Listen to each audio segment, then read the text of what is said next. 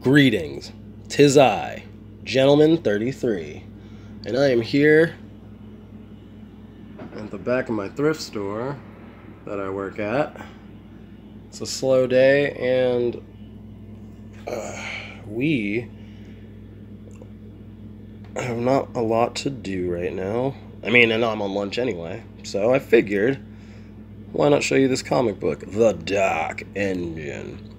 And right away, I gotta say, even though I didn't like this comic, this cover is really cool. You have this woman hunched over. She's obviously pre of like prehistoric nature in some way, and it leads into this dark, maybe cave that she's looking over, or maybe she's just like you know on a precipice, uh, slightly over what looks to be a, uh, a I don't know like a dugout river bed or something like the start of one anyway. Either way, this cover really got me, and I was like, oh, this looks like a 50 cent comic I can afford. So, unfortunately, I didn't like it. It's uh, quite surprising to me, to be honest. I want to give, though, a special shout out to uh, Image's comic like con like contents layout. Like this is very clever to have all of your social media stuff right after your name. So I hope because this was published in 2014, so I really hope that this trend is taken over by now. Like it's very easy to see who did what, and it's also cool to look at the. Uh, the names just written out. So if like I wanted to follow any of these people, I could.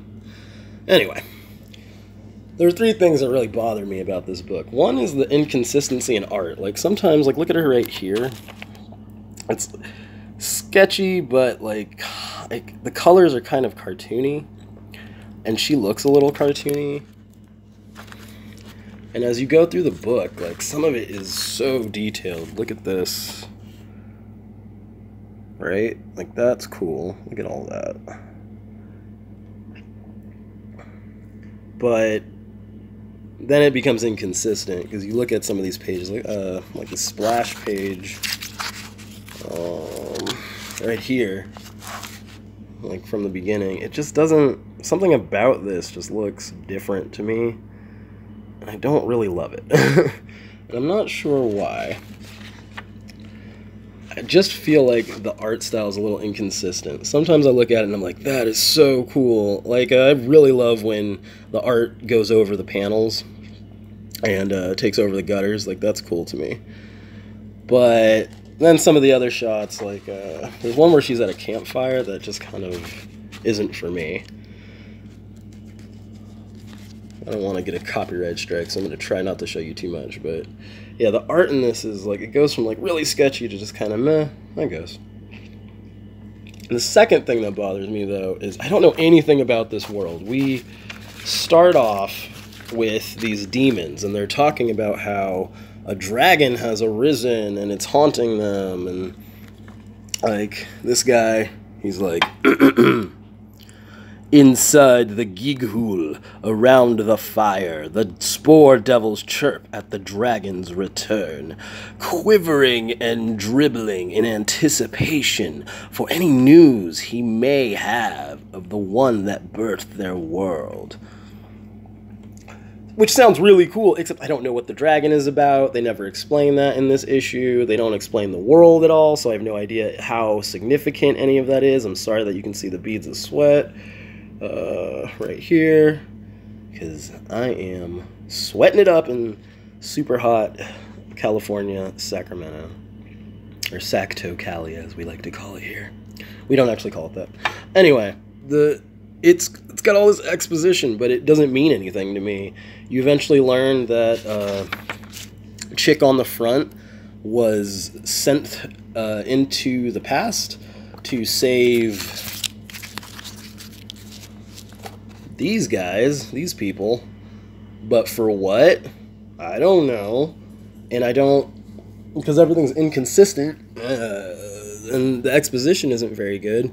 I have no idea where any of this is, or the stakes, or anything. Like, spoilers, this guy who's got uh, this jerkish look right here with this other dude who's got his hand on him.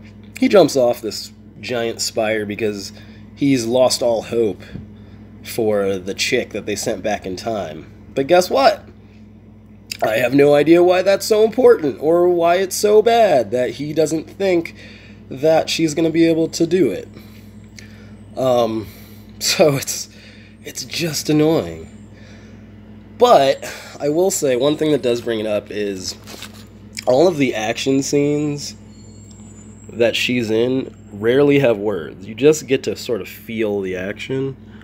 So, like, like I said, I'm a sucker for any of these panels that have the art going over the into the gutter. But look how cool that is.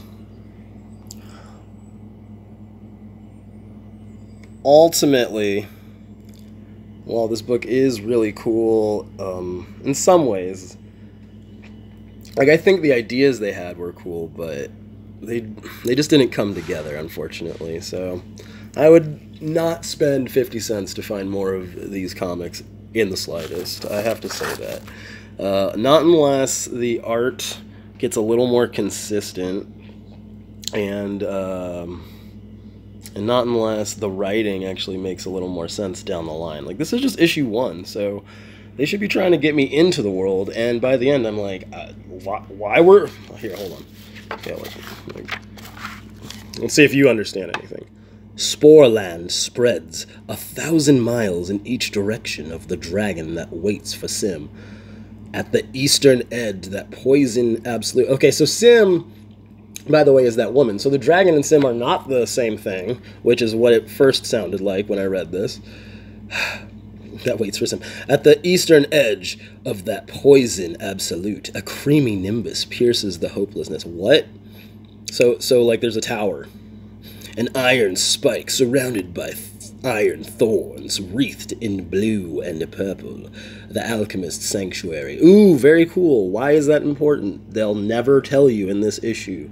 They have there's no explanation of what's going on really. So anyway, Dark Engine number 1 was a fail. If we were at home, I would spray paint it, but since uh you know, since we're having a day of inconsistencies, we'll just rip out like two pages. We'll just we'll just take out two. How about how about this splash page? We'll just, there's one, and then uh, come on, there's two. I don't really feel like doing any more. I almost made it to the garbage. That's that's the oh yeah this is the uh, this is the campfire picture like it just doesn't to me it doesn't have that same like pop. Like look at the fire. The fire looks kind of shitty. And I really like the artwork actually so eh, I just wish it felt more consistent. I don't know why. It just doesn't I don't know. Maybe you and the audience can tell me why the artwork doesn't seem so good or why I just am freaking out about it. But either way thanks for watching. I hope you have a great day. Do not buy the Dark Engine. Sorry, Ryan Burton and John Bivens. This is not for me. Later on.